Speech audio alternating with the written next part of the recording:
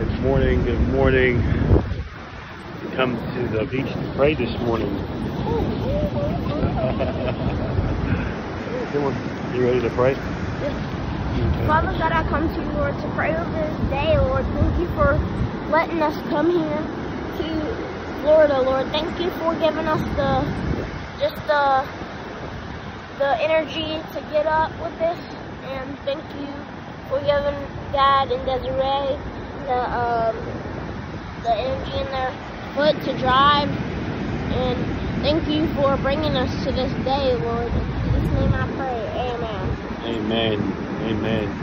And God, we thank you, Lord, for everything that you've done for us on today, God. We thank you, God, for breath in our bodies, Lord. We thank you for the activity of our limbs, God. We prayed, God, that you would just come in and just help us, Lord Jesus, to be better soldiers for you, Lord Jesus, God. We pray that you help us to forgive.